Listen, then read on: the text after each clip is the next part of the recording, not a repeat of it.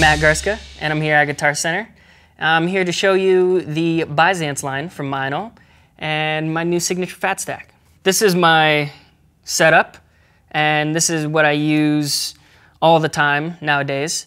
And it consists of a variety of uh, different Byzance lines. I'll start with the hats, which are the sand hats, the Benny Greb sand hats.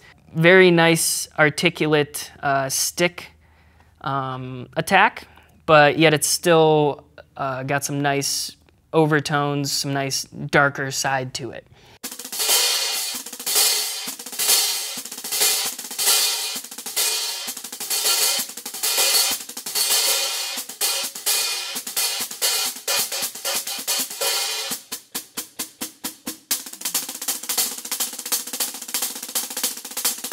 I've got a, an extra thin hammered crash. This is my main workhorse. And by that I mean I just smash on that thing all night long. And actually I feel like these extra thin cymbals, uh, they tend to give in to uh, the beatings a lot better.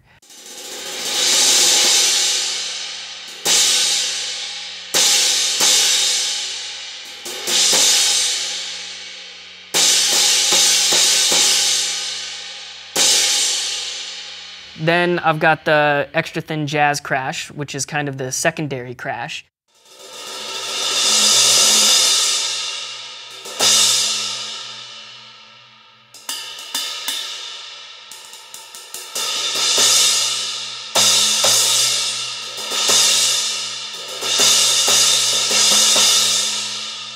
Then I have the six inch Brilliant Splash, that cuts through very nicely. Even though it's only six inches, it's really small.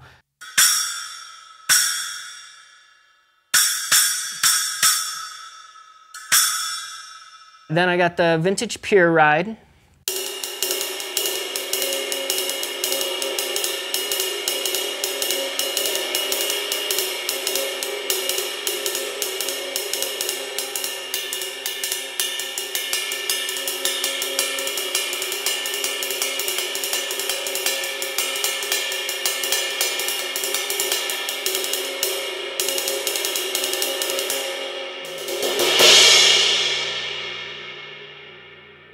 And then have the extra dry China 20 inch and it's either this or an 18 inch for me.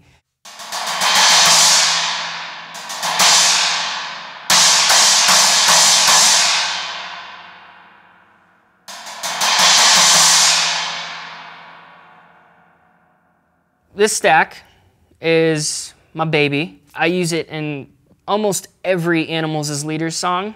It's basically a, an 18 inch extra dry cymbal, a crash cymbal with a 16 inch extra dry China.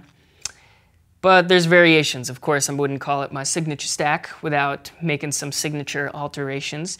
One being holes in the top and holes in the bottom cymbal. Uh, another being sandblasting on the contact points.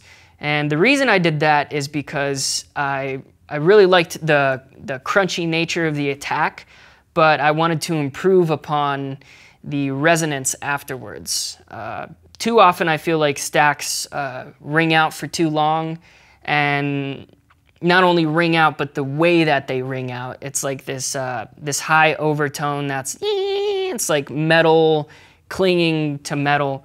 And uh, I think this stack beautifully cuts out that aspect. And as a result, it's really trashy, yet it's, it's a, there's a smoothness to it, you know, it's not jarring. If you're in the room and you hear it, it's not like you're covering your ears, you know, kind of like the whole Byzance line that has this uh, pleasing quality to the ear. All right, and now for the fat stack. I'll start loose and then kind of take it through some of the uh, different articulations. So this is the loosest.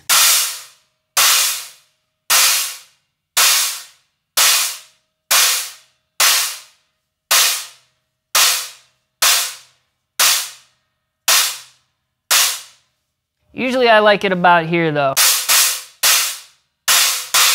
I like it just fat enough, but out of the way as well. So the Byzance line pretty much has everything that you could ask for. I'd strongly urge you to, to check out the, the different lines within there.